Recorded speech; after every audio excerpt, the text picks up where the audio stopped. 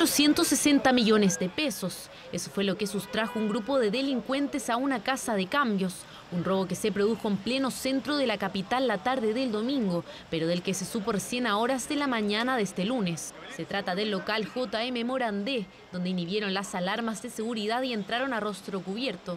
Tres sujetos eh, a rostro cubierto eh, fracturaron los candados de acceso y luego se dirigieron hasta la caja fuerte, la cual mediante el método del oxicorte eh, sustraen dinero en efectivo. Pero no es primera vez que sufre un robo. En sus años de funcionamiento ha sido atacado varias veces. Esta vez se llevaron 275 millones de pesos chilenos, 60 millones en monedas extranjeras y 141 mil dólares en efectivo, dinero que el dueño no podrá recuperar debido a que no contaba con seguro. No, yo he tenido varios asaltos a mano armada. Abrieron y robaron. Me llamaron de aquí si yo llegué más tarde. Ya habían entrado anoche.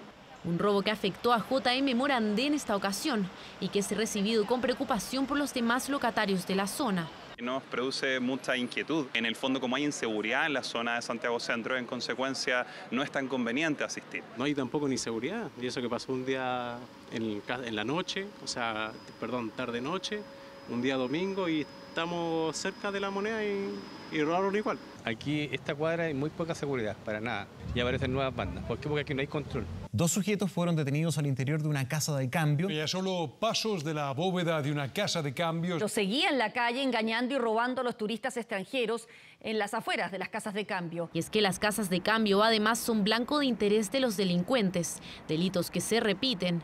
Uno de ellos los llamados punteros, personas que ofrecen un mejor precio por la moneda extranjera que los clientes buscan cambiar, pero que terminan robando el dinero.